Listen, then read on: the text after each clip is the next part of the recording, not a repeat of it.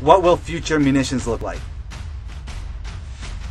This is ADAM, or Advanced Direct Indirect Mortar System, a remote, lightweight, unmanned weapon system, seen here firing 81mm mortars at direct targets at 400, 700, and 1500 meters away.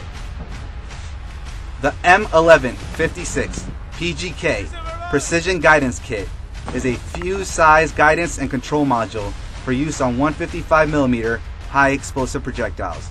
PGK will reduce dispersion and shrink the miss distance, thereby increasing accuracy and effectiveness.